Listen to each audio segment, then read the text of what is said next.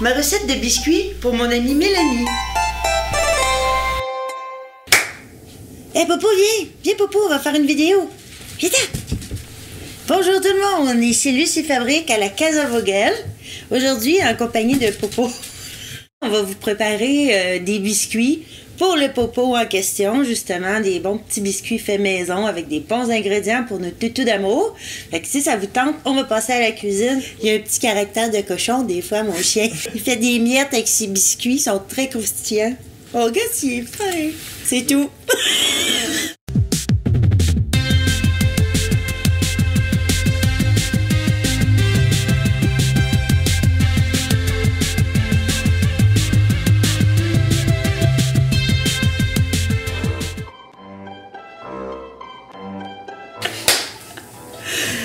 c'est parti pour la recette. On va faire les biscuits Popolov. J'ai tout euh, préparé les ingrédients. J'ai commencé sur une base de cœur de poulet.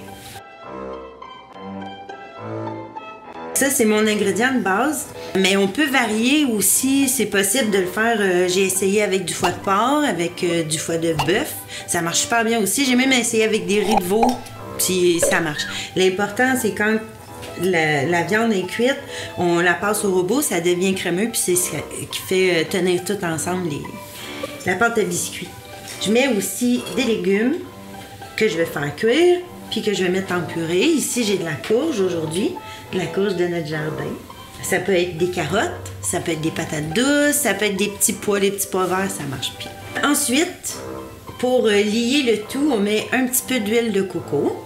L'huile de coco, c'est bon pour les poils de chien, pour faire un beau petit chien tout doux. Ça aide à digérer. C'est bon pour le système immunitaire aussi. Puis c'est antibactérien. Ça a plein de, propriétés. Euh. Pour les humains, on l'utilise beaucoup, mais pour les chiens, euh, c'est tout aussi bon. Ensuite, un petit peu de vinaigre de cidre de pomme. Ça aussi, c'est bon pour les chiens, c'est bon pour l'arthrite, c'est bon pour plein d'affaires. Un petit œuf de la ferme de nos amis euh, au gré de la rivière à Saint-Urbain, de la menthe séchée de notre jardin. Ça peut être du persil aussi. Pour les farines, j'ai décidé de prendre farine de sarrasin. C'est plein de belles propriétés aussi euh, pour les toutous, beaucoup de protéines aussi dedans. La farine de pois jaune, la même chose. Et pour finir, des flocons d'avoine, qui est aussi une protéine végétale bien intéressante pour, euh, les animaux. Puis c'est très bon aussi pour euh, la santé de la peau et des poils. Ça va être par écrit si vous voulez le, revoir aussi. Puis j'ai écrit aussi toutes les variantes euh, que vous pouvez utiliser. Puis sinon, ben, vous laissez aller votre imagination. C'est un pot que mon chéri a fait pour notre popo, c'est pour mettre ses biscuits. Fait quand on va les faire tantôt, on va pouvoir le remplir. On dirait qu'il est mort. Pauvre petit chien.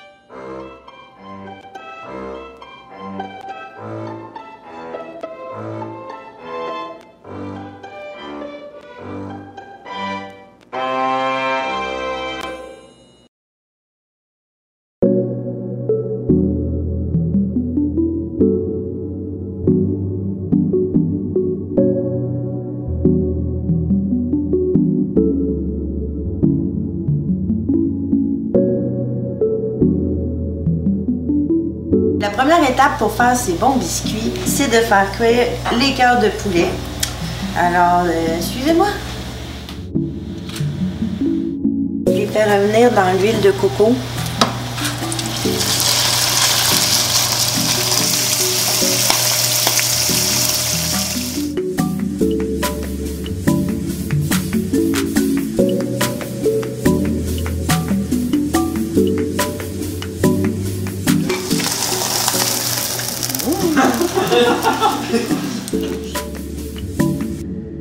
Je remets un petit peu d'huile de coco.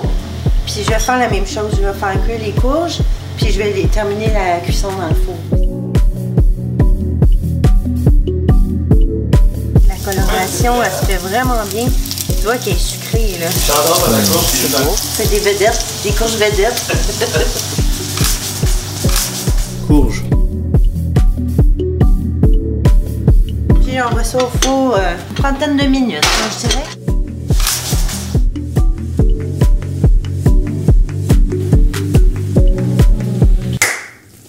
De poulet, je les ai fait cuire euh, dans l'huile de coco. Ils sont refroidis. Les courges, la même chose, un petit peu d'huile de coco, puis euh, du romarin aussi euh, pour agrémenter la vie de ce beau petit chien. Tous les ingrédients vont dans le robot. Je commence par les cœurs et la courge.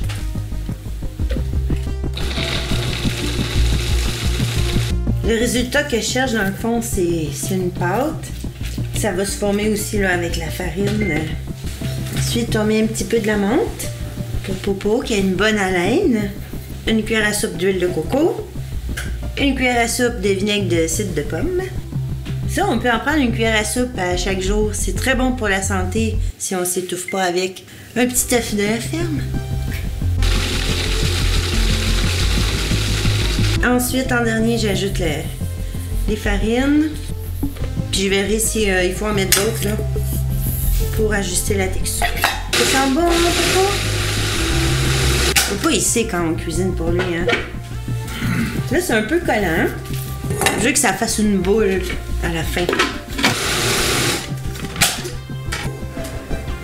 Pendant que je vais faire un petit peu de bruit avec le robot, euh, on va vous présenter. Making my way through the hood, sipping this yak. About to get blown with the Mac.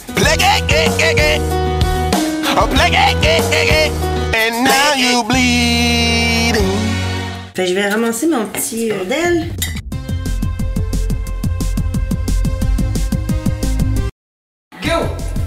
La prochaine étape, ça consiste à abaisser notre pâte. On va former les biscuits. On peut faire euh, vraiment comme on veut. Je vais vous montrer euh, les différentes façons. Qu'est-ce que tu fais, mon beau popo? Regarde! C'est possible! C'est important de bien fariner la surface de travail puis euh, la boule là, parce que c'est quand même un petit peu collant. Je pars d'un rectangle puis je vais l'abaisser doucement pour arriver à environ 3 mm d'épais.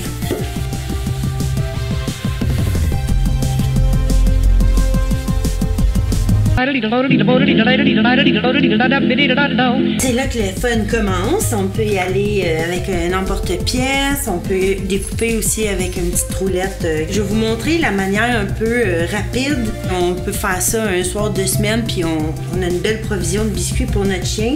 Moi, je l'ai fait avec la roulette comme ça ici. Environ 1 cm, 1 cm et demi de large. Nous, on a un petit shih tzu. C'est sûr que si vous avez un, chien plus gros, vous pouvez faire des biscuits un peu plus larges. Ce que je fais, c'est que je vais les couper euh, en billets. Et voilà. Fait que même là, hein, il y en a différentes grosseurs. Moi, j'ai un emporte-pièce en forme d'os que mon papa il a fabriqué, vraiment cute.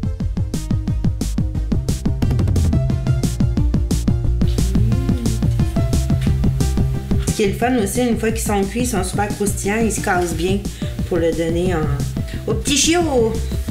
Tes beaux biscuits, mon popo, on va les faire cuire.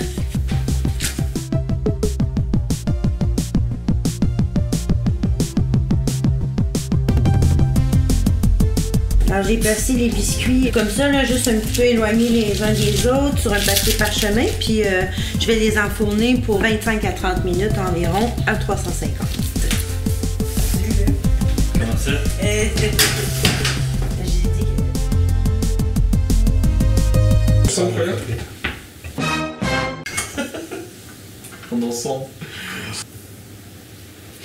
C'est bon? Alors voilà le résultat, les biscuits sont cuits, ils sont bien craquants. Comme ça, c'est ce qu'on recherche. Puis vous y goûtez. C'est très bon euh, à manger pour nous aussi. Tu veux goûter, Popo? Il adore ça. Tu veux goûter? On va écouter. C'est bon, plein d'huile de coco. C'est baby proof. C'est bon pour tes cheveux. C'est bon, hein? Bon. Tout le monde peut en consommer de ces biscuits-là. C'est des bons ingrédients. Moi, c'est ça que je voulais faire aussi avec le toutou qui mange aussi des bonnes choses. Euh, on prépare toute sa bouffe, euh, poulet, légumes, euh, du riz. On peut partager les repas avec nos animaux aussi. C'est comme des biscuits surprises, ben peut-être c'est ça. Mais là, je sais ce qu'il y a dedans. Hein? des petits cœurs de poulet? Oh. Ah oui, c'est vrai, hein? Les enfants tombent dessus aussi, ils peuvent les manger sans danger. Il n'y a aucun problème. C'est bon pour tout le monde. Quand on va mettre ça dans son beau petit pot à biscuits, Popo, il va être content pour la semaine. Pour la conservation, c'est ce que j'aime bien. On peut les conserver dans un pot comme ça. C'est pas obligé d'être hermétique. Idéalement, peut-être même que non. On les garde à température ambiante. Jusqu'à maintenant, une recette comme ça, ça dure entre deux et trois semaines pour un petit chien comme Popo. Mission accomplie. Ça rend les petits chiens heureux. Et puis Popo, il est très doux. Je pense qu'il est en bonne santé. Il me semble très heureux. Ça vous tente d'essayer, euh, la recette est disponible, elle va être sur la chaîne YouTube. Je vais la mettre aussi sur ma page Lucie Fabrique. Il y a toute la méthode, les ingrédients, les variantes, mais si jamais vous avez des questions, vous gênez pas, vous pouvez m'écrire, puis ça me faire plaisir de vous répondre. Puis si ça vous tente, vous pouvez vous abonner à la chaîne aussi euh, Casa Vogel, puis on va vous présenter euh, plein d'autres belles vidéos bien amusantes et instructives et divertissantes. Bravo Popo!